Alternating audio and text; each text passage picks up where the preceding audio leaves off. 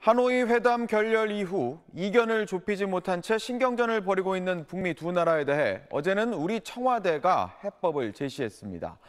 미국에 대해선 너무 일괄 타결, 빅딜만을 고집하지 말고 북한에 대해선 일단 로드맵, 비핵화 시간표라도 내놓는 성의를 더 보여야 한다고 말했습니다. 그러면서 이제는 남북 대화의 차례라고 밝혔습니다. 김정윤 기자입니다.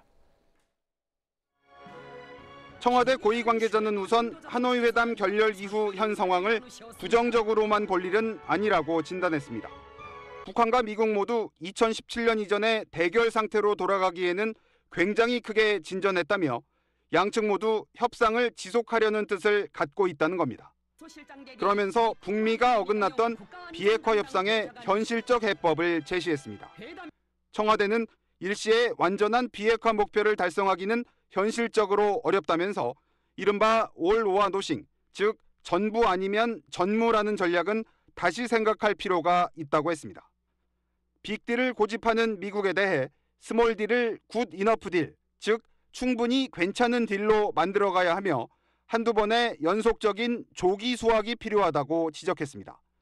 북한에 대해서도 비핵화라는 목표를 달성하기 위한 로드맵이 필요하다는 점을 분명히 했습니다.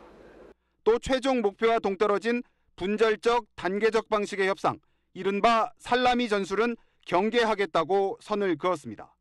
북미 양측에 우리 나름의 해법을 제시하면서 중재자, 조정자로서 역할을 해보겠다는 의미로 풀이됩니다.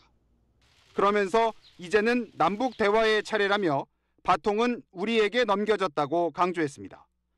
남북 간 대화와 교류 협력을 계속해 나가면서 대북 특사나 원포인트 정상회담 등을 통해 북한과 직접 대화를 시도할 것으로 보입니다. SBS 김정윤입니다.